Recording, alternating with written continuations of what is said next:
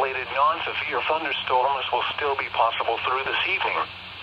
And now the extended outlook for the period Friday night through Thursday, there will be a slight chance of thunderstorms primarily across eastern Nebraska both Saturday and Sunday. Spotter information statement. Spotter activation will not be needed. Funnel clouds remain possible into early evening over portions of eastern Nebraska and southwest Iowa. Funnel clouds have been reported across the area this afternoon with atmospheric conditions remaining favorable for additional funnel clouds through 6 or 7 p.m. These funnels are brief in nature and are not expected to touch down. This is NOAA.